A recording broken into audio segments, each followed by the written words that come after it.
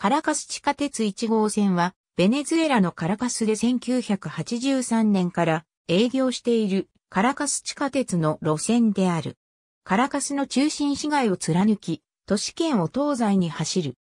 西の丘陵で一部地上を走る。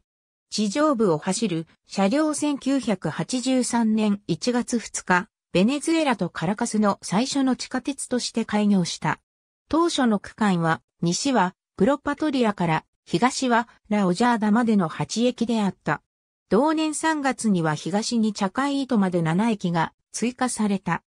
1988年4月23日には東にロスドスカミーノス駅まで伸び、1989年11月19日にパロベルデ駅まで伸びた。新旧の中心市街とその東西の郊外の住宅地を結ぶ。利用客数は4路線の中で最も多い。